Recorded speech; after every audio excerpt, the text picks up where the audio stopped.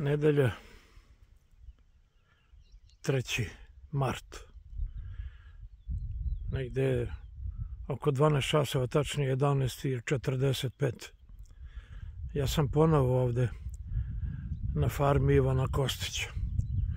Ivan mi je javio da je pronašao i drugog psa koji je dva, tri dana ranije otrovan, ali nije mogao da ga nađe do danas. Jutros ga je pronašao i evo ja sam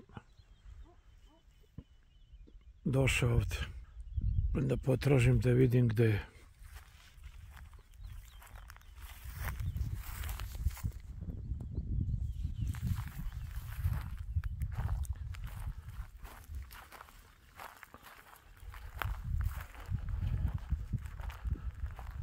Još jedno zlodelo, još jedan zločin.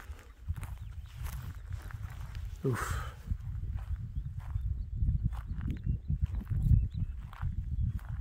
Pas. Karakačanski ovčar.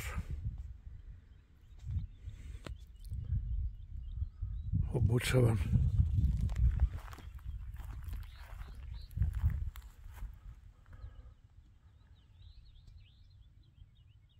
Da brine ovcem.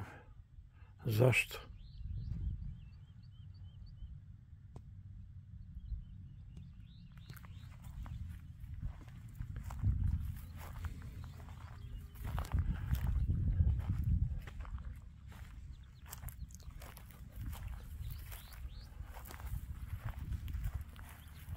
Tak.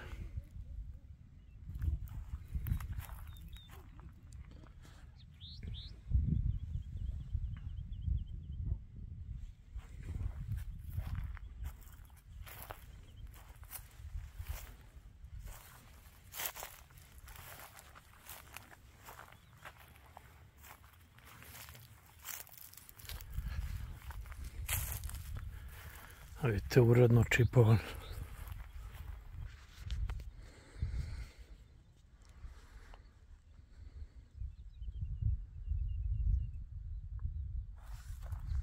Sam,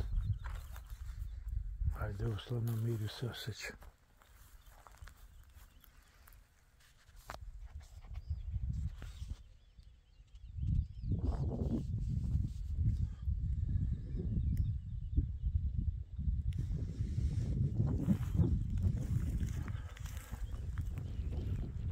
Eno farma. Ivan tu svakog prepodneva ovdje vodi svoje ovce na pašu.